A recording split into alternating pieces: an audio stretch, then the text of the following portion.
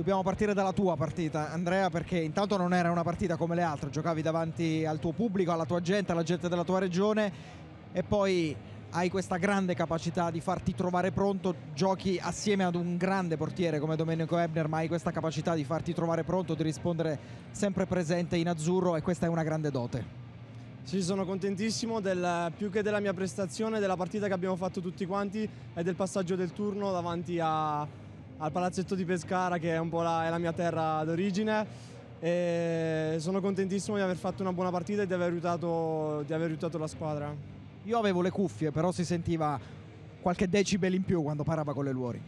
Eh sì, si vedeva qualche amico dagli spalti. Eh, intanto arriva un grande risultato perché in termini di squadra ci qualifichiamo a questo ultimo turno e dimostriamo un ulteriore step di crescita, un altro step di crescita.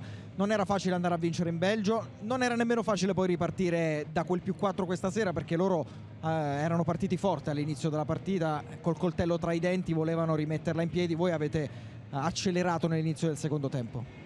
Assolutamente sì, in Belgio abbiamo, abbiamo vinto di 4 ma sapevamo che in Italia partita, la partita sarebbe partita da 0 a 0 e siamo stati bravi a rimontarla il primo tempo e poi alla fine l'abbiamo staccati e per la, pallamano, per la pallamano italiana penso sia un obiettivo grandissimo arrivare al terzo turno. Adesso c'è il Montenegro, un'avversaria tosta, lo sappiamo, ma queste due partite hanno dimostrato che l'Italia ha tutto il diritto di sognare.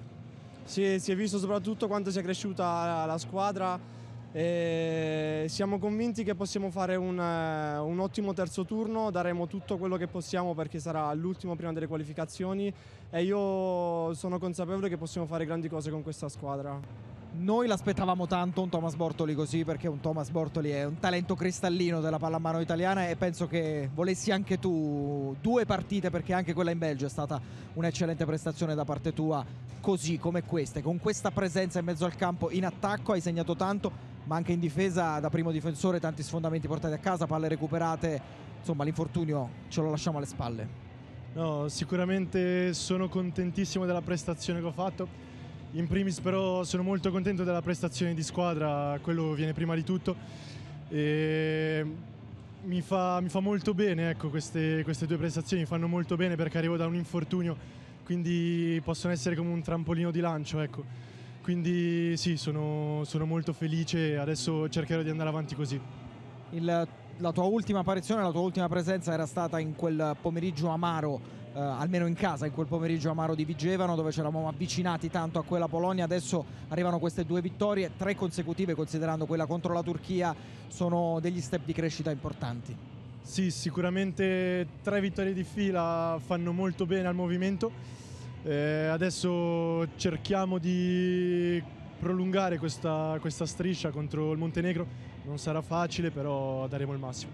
Ed è una nazionale che ha dimostrato di non avere paura di nessuno, di, avere, di, saper giocare a pallamano e quindi di volersela giocare a viso aperto anche contro una squadra molto forte come il Montenegro. Sì, sicuramente in primis rispettiamo tutte le squadre contro cui andiamo, però entriamo in campo senza la paura entriamo in campo sapendo di dover dare il 100% ed è questo che ci caratterizza, non molliamo mai, lottiamo fino alla fine e penso che si sia visto in queste due partite. La percezione per chi come noi racconta questa nazionale eh, è che ci, si sia creato in generale, a prescindere dal luogo in cui si gioca, un legame speciale con il pubblico della pallamano. Questa nazionale è particolarmente amata, non so se voi percepite lo stesso calore attorno a voi quando si gioca in casa. Sì, sicuramente già dall'ultima che avevo fatto a Vigevano si, si, è visto molto e si vede anche tuttora l'apporto del pubblico. Eh, siamo molto felici di questo, sono l'ottavo uomo in campo possiamo dire e grazie a questo anche siamo spinti per dare il massimo e per arrivare alla vittoria.